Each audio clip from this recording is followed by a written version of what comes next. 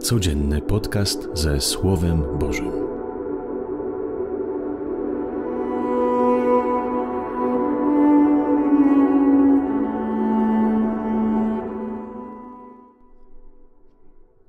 Z Ewangelii według świętego Łukasza. Spośród swoich uczniów wyznaczył Pan jeszcze innych, siedemdziesięciu dwóch, i wysłał ich po dwóch przed sobą do każdego miasta i miejscowości, dokąd sam przyjść zamierzał.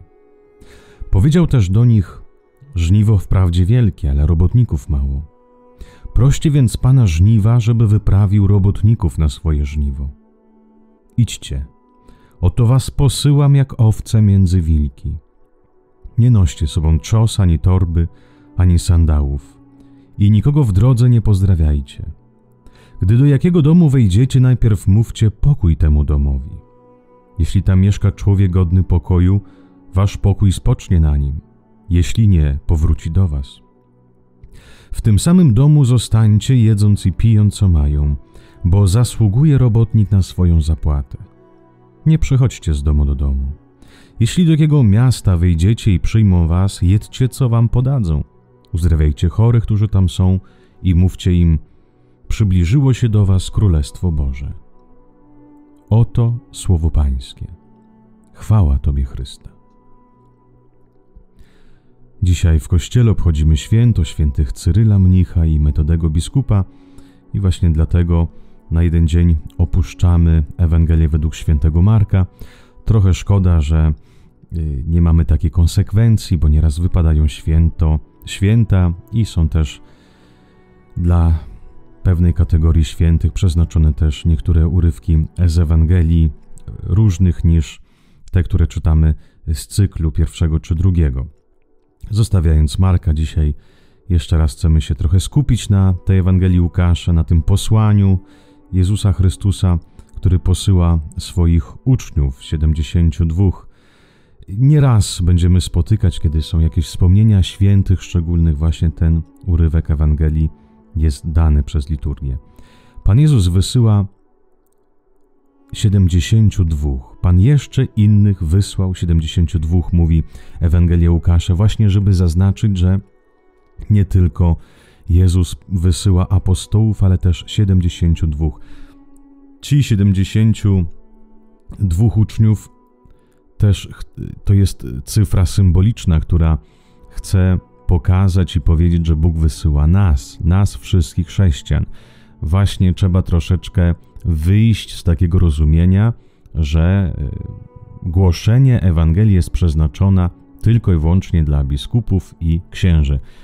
Co fakt, kiedy tutaj Jezus mówi proście, Pana żniwa, żeby wyprawił robotników na swoje żniwo, od razu my myślimy, że Jezus mówi módlcie się o powołanie kapłańskie i zakonne. Nie, Bóg chce, żeby każdy z nas poczuł się i doświadczył, że jest posłany.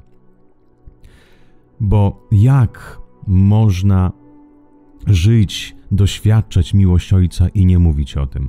Kiedy przyjedziemy z pięknej wakacji, czy mam jakieś fajne, super doświadczenia, chce się mówić, chce się opowiadać.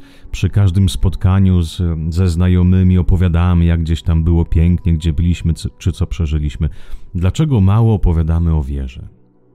Tak ogółem biorąc, wiadomo, że są ludzie, którzy y, mówią, głoszą miłość Ojca, Powstaje pytanie, może dlatego, że nie doświadczyliśmy jeszcze miłości Ojca. Tego Boga gdzieś w tym chrześcijaństwie ciągle się boimy, bo dla nas, chrześcijan, niestety, Bóg jest bardzo, bardziej Bogiem zakazów, obowiązków, aniżeli miłości i relacji. Dlatego może po pierwsze trzeba samym się modlić każdego dnia. Ojcze, daj mi doświadczyć Ciebie, bo nasza wiara to nie są idee, to nie są jakieś filozoficzne kwestie. Nasza wiara jest konkretna, bo Bóg jest konkretny i chce się poznać. Y, Bóg chce, byśmy go doświadczyli konkretnie, namacalnie. Jeżeli Boga będziemy, o Bogu będziemy wiedzieć tylko z opowiadań katechizmu, bo ktoś tam ksiądz jakiś mówił na, na ambonie, czy jakaś babcia mówiła Panu Bogu, a sam tego Boga nie doświadczyłem. Jakby nie dotknąłem go osobiście, nie poznałem jego miłości, to jak ja będę mówić o Panu Bogu? To będzie tylko i wyłącznie jakaś taka teoria. Możemy nieraz usłyszeć też niestety od nas księży właśnie bardziej tyle tej teorii o Panu Bogu, o wszystkim, ale często widać, że osoba mówiąca całkiem nie jest zaangażowana, gdzieś tam stoi z boku i, i mówi to, co przeczytała.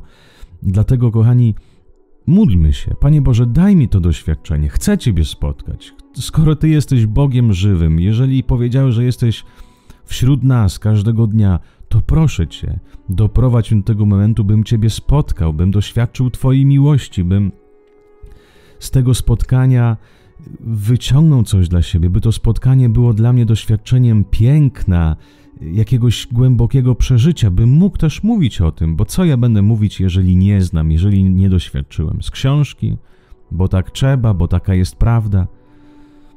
Zawsze y, działa to świadectwo, kiedy człowiek rzeczywiście y, dotknął, doświadczył. I, I to widać też w słowach. Kiedy człowiek mówi o Bogu, jest całym sobą zaangażowany i nic nie przemawia do człowieka jak y, właśnie słowa o miłości Boga. Nic nie przemawia. Możemy mówić, że to grzech, możemy mówić o obowiązkach, o przekazaniach, możemy mówić o piekle. Nieraz może poruszyć serce, ale nic nie przemawia do człowieka jak miłość. O miłości Pana Boga, o tym, że jest bliski każdemu człowiekowi. Naprawdę, ile ludzi dzisiaj jest spragnionych tej miłości, tej akceptacji. Wiemy mniej więcej, że robimy źle, wiemy mniej więcej, co jest grzech, a co nie, ale jak mało mówimy o miłości. Dzisiaj cały czas trzeba na coś zasłużyć. Dzisiaj jest ta, ta machina, w której biegniemy wszyscy, by być, mieć rezultaty i w pracy, i w ogóle w życiu prywatnym. Musimy zawsze pracować, żeby zdobyć jakąś pozycję, żeby zwrócić na siebie uwagę. Mało się doświadcza tej miłości prawdziwej, też mało się mówi o tym Bogu, który, który kocha. Dlatego Jezus mówi: Do jakiego domu wejdziecie, najpierw mówcie pokój temu domowi. Nie przychodźcie od razu z butem, tak jak yy, dwaj bracia z apostołów, którzy, właśnie jak poczytamy wcześniejsze rozdziały Ewangelii według świętego Łukasza, yy, którzy przychodzi, poszli do, do Samarii, po prostu głosili, żeby się nawracali. Ci ludzie nie chcieli przyjąć Jezusa Chrystusa, więc mówię, spalimy ich wszystkich, Panie, tylko pozwól, niech te gromy zejdą z nieba.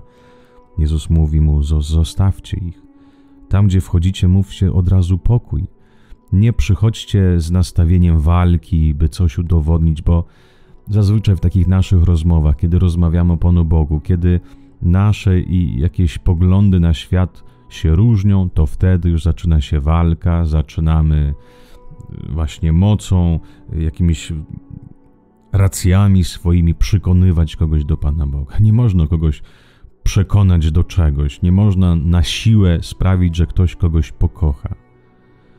Dlatego, kiedy przychodzimy, kiedy się spotykamy z ludźmi, od razu nieśmy pokój, bo wtedy będziemy prawdziwi, wtedy rzeczywiście ktoś posłucha, że Bóg jest miłością, wtedy ktoś się zaciekawi, bo będzie widział, że nie przychodzisz, by walczyć, ty mnie akceptujesz takim jest, jakim, jakim jestem, z moimi poglądami, z moim życiem, z moimi grzechami i nie przychodzisz, by gnać mnie gdzieś do piekła i nie przychodzisz, by dotykać moje rany, ale przychodzisz z pokojem, przychodzisz z miłością. Ile to daje?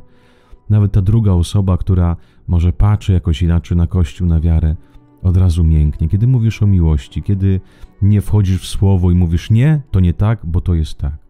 Ale kiedy człowiek rzeczywiście niesie ten pokój Chrystusowi, Chrystusowy, ludzie często się przysłuchują. I nawet jeżeli nic nie powiedzą, że to ich dotknęło, to później to słowo dobre, które zostawimy, kiełkuje. Ja z małego mojego doświadczenia i kapłańskiego, i po prostu życia widzę, jak nieraz gdzieś tam to słowo zasiane, nawet na pierwszy rzut oka widać, że to nic nie, nie zrobiło żadnego wrażenia na człowieku, ale kiedy mówisz o miłości, ten człowiek zawsze później się zamyśli.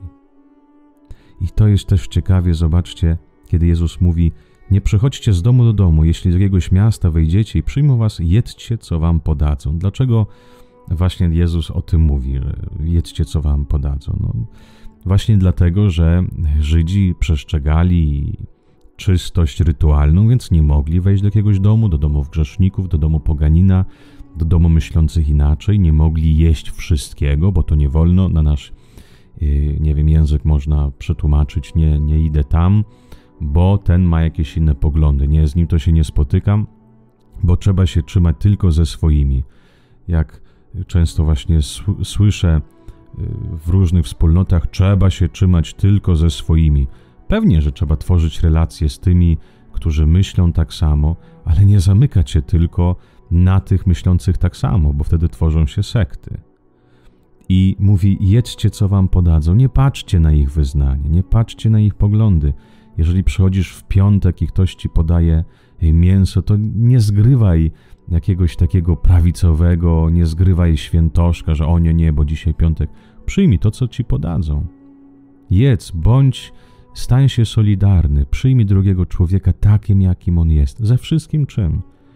Bo pamiętaj, że na nawracaniu zależy Panu Bogu. On przemienia serce, nie my. My jesteśmy tylko i wyłącznie robotnikami Pana. I mówcie im, przybliżyło się do was Królestwo Boże. Zobaczcie już kolejny raz, Jezus mówi: mówcie ludziom, że przyszedł Pan. Nie przyszedł sądzić, nie przyszedł potępić, ale zbawić człowieka. Przyszedł dodać mu skrzydeł, przyszedł dodać mu siły, przyszedł dać swojego Ducha Świętego. Przyszedł po to, by nasze życie się nie kończyło, ale by trwało na wieki. Tylko jest problem, że nie ma tych robotników, bo każdy myśli, że ktoś inny ma głosić. Ja, moja wiara, mój Pan Bóg, ja wierzę prywatnie i nie muszę się jakoś angażować. A Bóg szuka tych robotników. Wystarczy patrzeć tylko na księży, bo oni znają, bo, bo oni, nie wiem, się uczyli, studiowali. No i co z tego? Jest, jak ktoś się śmieje, że niektórzy teologowie wszystko wiedzą o Panu Bogu, a są ateistami, tak jak diabeł wszystko wie o Bogu, ale, ale jest niewierzącym. Także nie chodzi o to, że ktoś coś studiował, chodzi o to, że ktoś doświadczył miłości Ojca i chce tą miłość przekazywać innym. Świat potrzebuje Ciebie i mnie. Nasz Ojciec chce wysyłać swoich dzieci, chce mówić przez nas, chce dotykać przez nas, chce pomagać przez nas, by człowiek zmieniałby swoje serce, zmieniałby nastawienie na życie, by zapragnął nowego i szczęśliwego życia. Bądźmy, kochani, dzisiaj apostołami w swoim małym, skromnym życiu. Dajmy ludziom poznać, że Bóg jest dobry i Bóg kocha, bo tylko miłość jest w stanie przemienić serca i nawrócić człowieka. Niech Was wszystkich Pan Bóg błogosławi. Życzę Wam dobrego dnia z Panem Bogiem.